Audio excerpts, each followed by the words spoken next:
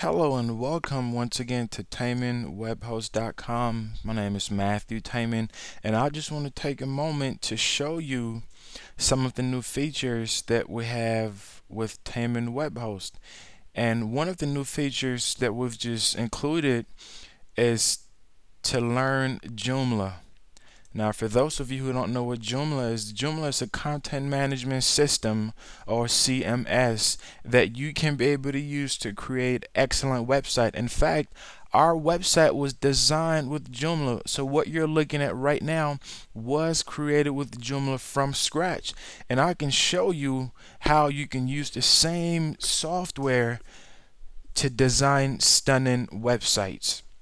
Now we have a, a, class that we normally teach for beginners. This is Joomla 101. So if you have a business and you want to create a stunning website that is easy to manage, this is the best software to use. The platform they have quite a few, you know, so many other platforms, but I believe that Joomla is the best because I have used it for a long time now and it has done wonders for my site. So if you're looking for ways that you want to be able to do more with your site, I would encourage you to use a CMS platform because HTML and some other types, if you don't have extensive knowledge then it's going to be very costly because you have to hire someone to be able to do all those things for you.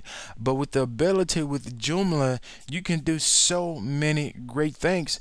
And here is just some of the features that we're going to be talking about in this course right now the introduction this for beginners again once again this for for those who have never used Joomla before or probably don't even know what Joomla is we'll teach you what it is so you can know understand how the whole thing works. You know SEO for Joomla you know just go over setting up your Joomla site metadata let me get some more here. But all this information you will be able to utilize for your site. RSS feed, sitemaps, search engine friendly URLs, analytics, duplicate content, internal linking, site speed, which is a very critical part because one of the algorithms that search engines have begun to use now is the site speed feature to make sure that your site is up to par migrating to or from Joomla. So if you want to migrate to Joomla from other platforms, that can be done. Domain names, inter international sites, social networking, external links, site content, all these are great features that anyone, regardless of your ability, you can use this software to help you. You don't have to be an expert. You don't matter of fact, you don't even have to know what Joomla is.